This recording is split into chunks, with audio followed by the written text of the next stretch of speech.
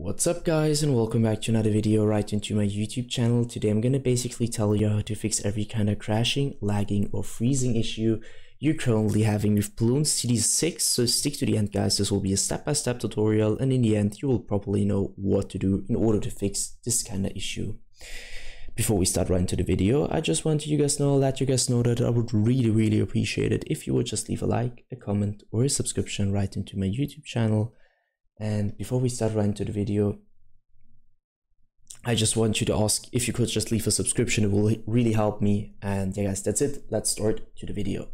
And yeah, guys, the first step is going to be to open up your task manager by just simply navigating down to your taskbar. You're going to right click and click into task manager.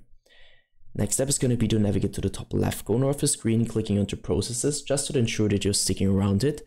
And afterwards, I know guys, it's going to sound a little bit basic and, and weird, I know, but trust me, it will help you a lot.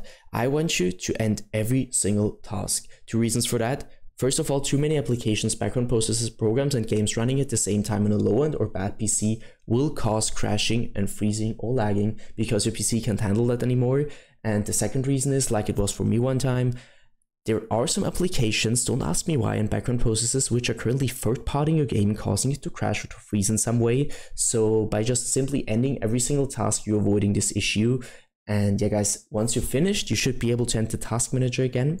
And the next step is going to be to navigate to the bottom left corner of your screen, clicking onto the Windows symbol using your settings, navigating right onto System, and stick around the first one where it says Display. What I want you to do is going to be identifying which your main monitor is, and obviously this just applies if you have more than one. So once you identified it, scroll down and go to Scale and Layout, where I want you to change the size of text tabs and other items to 100% as recommended, and the display resolution should be the same as in-game. So for example, 1720 by 1070 in-game should also be your display resolution.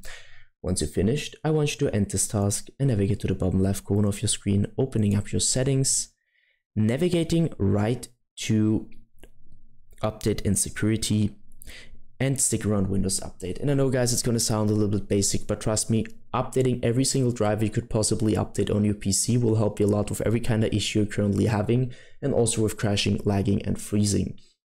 So just provide the best possible performance for your PC by just clicking on to check for updates and download the latest version of Windows. Once you're finished, end the settings, and do the same thing for your graphics card. So if you have AMD, if you have NVIDIA, it doesn't really matter. Just go to the application or the browser and download the latest version of your driver just to provide the best possible performance in general for your PC.